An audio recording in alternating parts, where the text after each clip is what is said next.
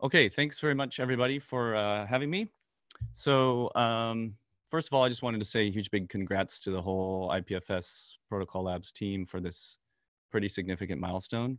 Um, and thanks a lot for bringing us along for the ride. So, yeah, just a big congrats to everybody. Um, and then um, I'm going to talk a little bit about uh, what Textile has been doing in anticipation of and on top of and with um, IPFS and IPFS tooling and that sort of thing. So I can't see any messages or anything. So if uh, I'm, if you can't hear me or something, just yell at me instead. Um, so hi, I'm Carson Farmer uh, from Textile. Uh, we as a team have been working with and on IPFS for about, uh, about just over three years now, I think. So that's reasonably long, I think, in the scheme of things community wise. Um, and we've seen a lot of changes over that time documentation, tooling, all that stuff, um, big improvements. And we've also done a lot of experimentation ourselves um, in terms of figuring out in what environments IPFS um, behaves nicely, in what environments it doesn't behave very nicely.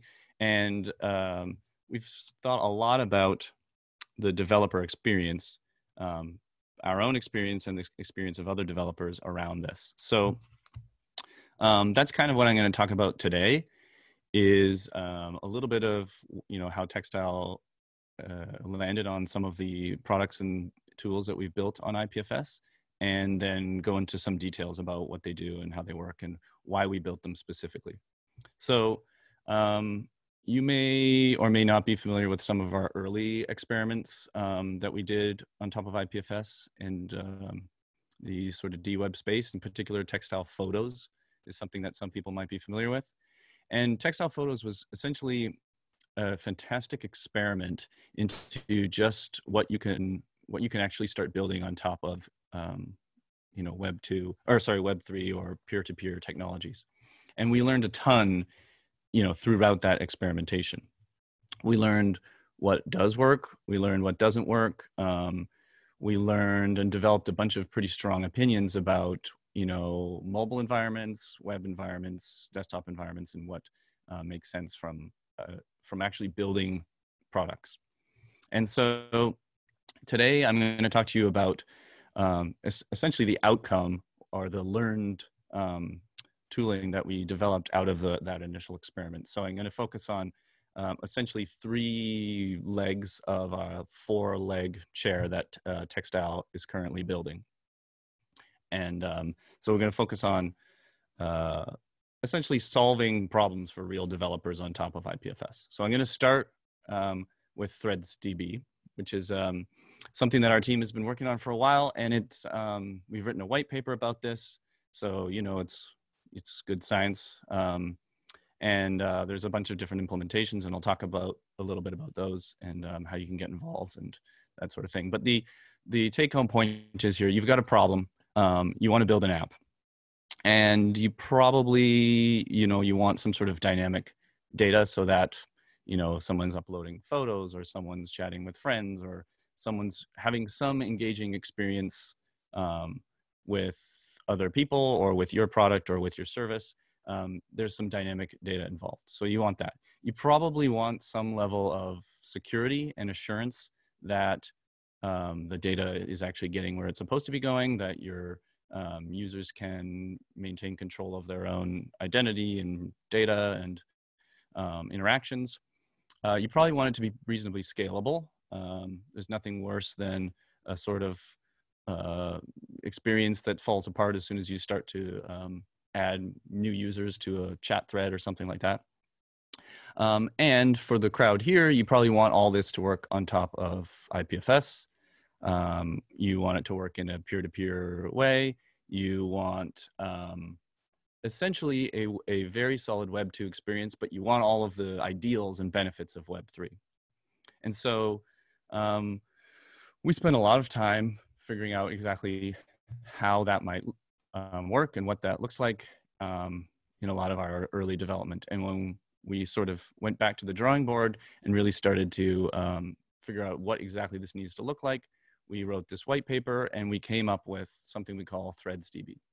So ThreadsDB is a uh, here's the tagline here: a secure, decentralized peer-to-peer database, and it's built on IPFS, uh, libp2p, and IPLD. And uh, the idea is here is basically, if I'm a developer or if I'm a development team and I want to build an engaging experience for my users, I don't want my users or my developers to have to learn a whole brand new language and a whole way of thinking um, to get onboarded and get um, started. So we've developed a, essentially a MongoDB-like interface where it feels like a local database, but operates like a decentralized or distributed database. Um, you've got, you know, very um, modular access control. You've got um, uh, implementation agnostic identity, uh, conflict resolution, CRDTs, all the things that you need in a decentralized database, but over top of an API that feels like, you know, you're just adding a document or modifying a document. And then for our team, a really important thing is ensuring that users have control of their own data. Um, and that's actually a huge part of what um, brought us into the IPFS community in the first place is this idea of content addressing, providing a way for people to really control where and how they address and access their data. And in order to do that in a nice, safe way, we've built encryption into the actual protocol level layer of ThreadsDB that provides ways to manage um, access control, but also to then facilitate services on top of that. So you can have trustless third party pinning services or relays or archiving um, so that your users know that their data is going to stick around, but they don't need to worry that someone else is snooping on what they're um, creating. So here's an example of actual code that you would write using ThreadsDB. And, you know, initialize a new database, you specify a schema using uh, well-known JSON schema.orgs for your database. You create collections, you insert values or astronauts in this case. You can query it using MongoDB um, query syntax, and you get all the nice sort of uh, modern web um, style interactions. So you get an async um, iterable that you can go through and, and all these nice things. And then every time you add something to the database, it in the background um, syncs across all of its different peers using a bunch of the really cool technology that we've already heard about on the call here. And um, there's a bunch of really nice things that happen in the background here. In particular, um, it's designed to be offline first. So essentially you've got a database that not only feels local, but actually operates local when it doesn't have a network connection. Um, so that as soon as you come back online, you can start to tell everybody, hey, I've got some data, you might want to pull it. So I'm not going to dwell on this too much because there's some really exciting new things um, that I want to talk about in the next couple slides. But check out the white paper, check out our Go implementation, check out our JavaScript implementation, and um, come build some stuff uh, on top of ThreadsDB. But what about if you have a bunch of like really large files or directories that you want to manage on IPFS? So IPFS is already really quite good at this. Um, you know, IPFS add, you get some data, it uh, chunks it up into a beautiful Merkle DAG for you. You can share that. You can pass around just the top level hash. That's fantastic. Um, but again, if you want to work with dynamic data or you're collaborating on a um, single folder in a Dropbox-like way, or um, you've got a team that where you're trying to manage team assets, you want something that's sort of persistent is dynamic and feels again like you're working on a local folder. Um, and so that's something that we, uh, a product that we've developed called Buckets. And Buckets is just a really nice, slick wrapper on top of um, the IPFS um, mutable file system. But what it's designed for is essentially representing dynamic folders on top of threads and on top of IPFS. Um, it's got an API that's not unlike say like an S3 bucket or something like that. Um, it's designed for collaborative multi-user folders um, that you can persist on remote IPFS peers. So it works really nicely with um, pinning services. In fact, the APIs are designed to be adopted fairly easily by um, pinning services or our own pinning service. Um, but the really, really cool thing about buckets, um, and we'll probably don't have time to do a demo today, but um, this is kind of this has blown my mind. So here we go. Um, hopefully you guys think it's pretty cool. So buckets are designed to be highly interoperable. Every bucket is essentially a folder Okay. And when you add data to that folder, it's actually an instance inside of a ThreadDB um, running locally. So it's essentially like a document in a database. And you can query it and you can treat it effectively like a document. Okay, except that this is like binary file based data or a whole folder of binary file based data. It's also its own HTTP um, domain or gateway. Um, and it actually takes, we take pretty cool advantage of some of the new um, subdomain uh, properties of uh, IPFS 0.5 to do some of this stuff. So essentially, you know, your folder is your, you know, static website. Well, actually, you can just address that as if it's a website online. It'll be rendered um, like a website, and um, it's get get all the benefits of that. Except that it's a dynamic um, folder as well. It, there's a, a, phone in the background. Apologies. Um, so you essentially can deploy your blog as a static, static site that gets dynamic updates. But here's the really cool thing: every bucket is also itself an IPNS address. So the, the unique bucket ID is also an IPNS ID. So every time you update your bucket, you also in the background update an IPNS address. And therefore you can do all sorts of like DNS link um, type uh, linking back to your bucket so that every time you update your bucket, you automatically get um, you know your url whatever will, will automatically point to the latest ipns um, hash or to your, your sorry your persistent ipns hash. So you have literally a dynamic folder on ipfs with all the benefits of ipfs um, that gets updated automatically in the background. But the big piece there is like um, with with peer-to-peer systems there's lots of different ways that you can address something. And our big um, philosophy on our team is that you need to have um, different ways of addressing the same thing.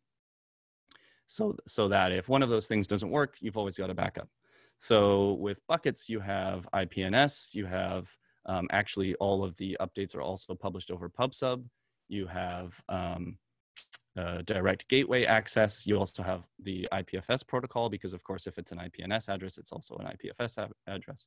Um, so you've got all these different ways of accessing content. So no matter what, if you're a developer and your users want to be able to access you know their data or your deployed service you they always can depending on what sort of um, connection they're able to manage. This means that you can deploy a lot lighter weight apps because you don't need a full-blown ipfs peer necessarily to access um, your website or your data.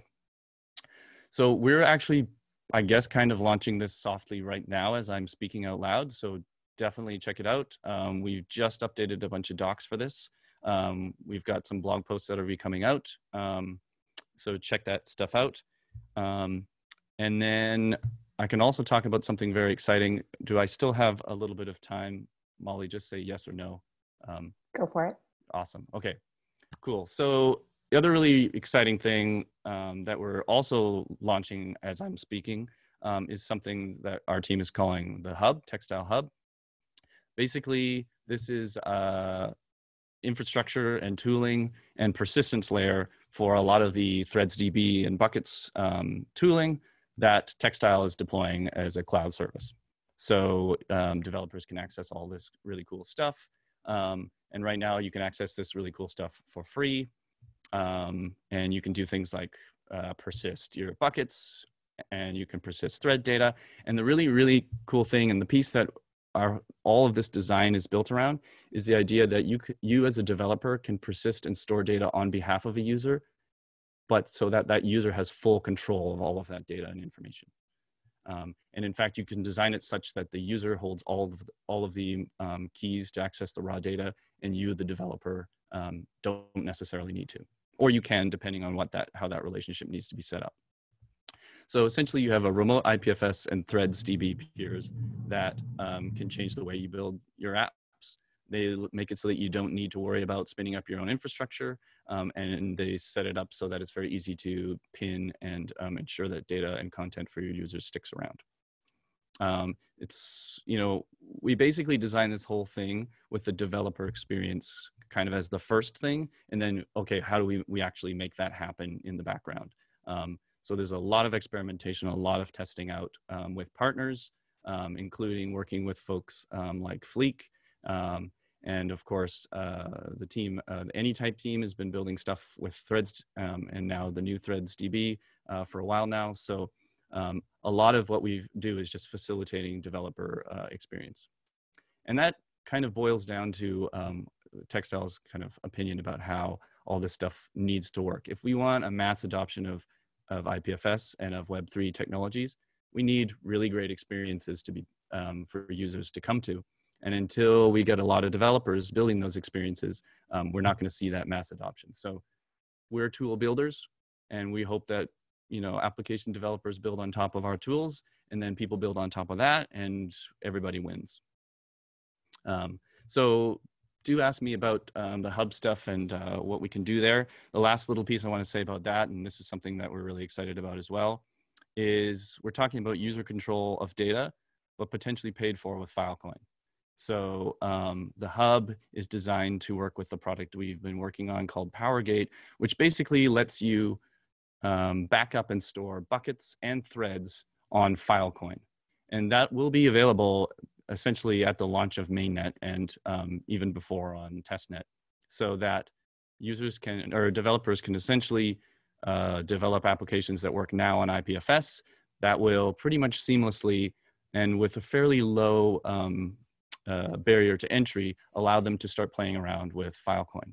So if you're at all curious about how might I be able to take advantage of Filecoin um, in my application, how can I make sure that my user's data is persisted, um, how can I allocate storage space on behalf of my users um, as I test this out and I don't want to charge them, um, all that sort of stuff you should be able to experiment with really easily so that we get more developers adopting some of these new ideas. And so that's the whole idea of, of the hub.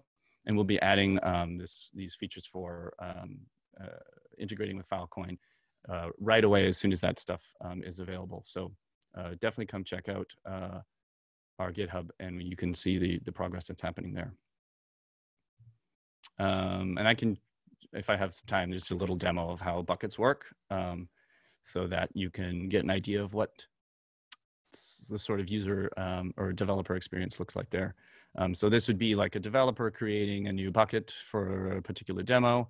And, you know, um, maybe they've got a whole static site that they want to deploy or even just a little index.html um, that they want to um, pop up.